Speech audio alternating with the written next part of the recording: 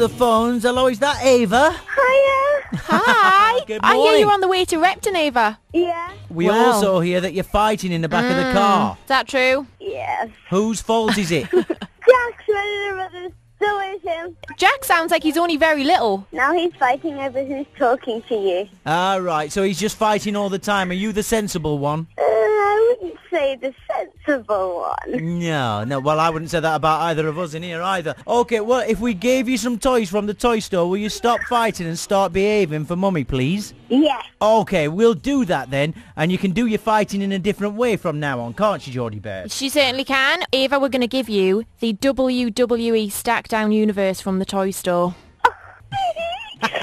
Thank you so No, much. No problem. So that means you and Jack can do wrestling fighting with the toys rather than taking it out on each other, all right? Yeah. Yeah. Have a good day at Repton, behave yourself, and be nice to mum. And give Jack a big kiss from us. Okay. I bet you won't. Thanks for coming on. See you later. Bye. Dubai. 92. Traffic.